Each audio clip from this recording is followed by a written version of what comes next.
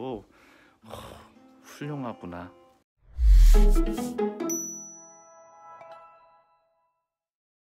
네, 우리 친구 자기소개 부탁드릴게요.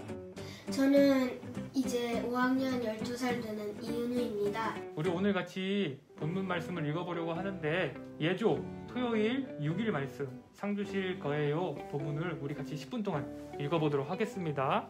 네.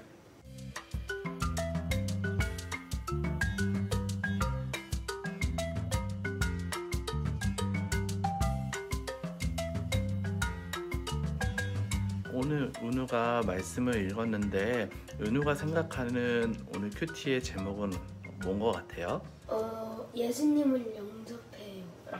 그거 같아요. 어, 말씀 본문에 예수님을 영접하면 하나님을 영접하는 것이고 또 예수님의 제자들을 영접하면 예수님을 영접하는 것이라고 나왔기 때문에 영접이라는 단어가 많이 나와서 영접이라는 걸 제목으로 정해도 괜찮을 것 같다고 생각을 했어요.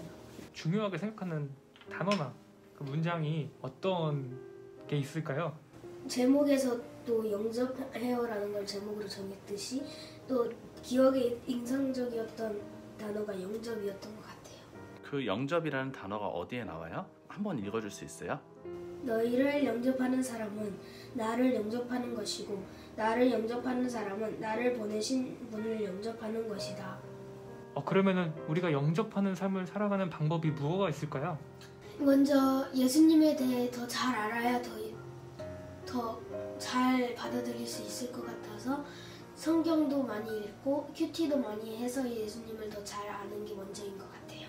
그 다음 잘 알게 됐을 때 어, 예수님이 기뻐하시는 것을 하면은 잘 받아들일 수 있을 것 같아요. 혹시 부르고 싶은 찬양 있나요? 네. 나는 예배자입니다라는 찬양을 부르고 싶어요. 그 찬양을 고른 이유가 있을까요? 말씀 본문에서 나왔던 영접이라는 단어도가 찬양이라고 할 수 있을 것 같아서 찬양을 한다라는 생각에 예수님 나는 예배자입니다를 고르게 되었던 것 같아요. 네, 정말 좋습니다. 그럼 우리 함께 찬양을 불러보도록 할까요?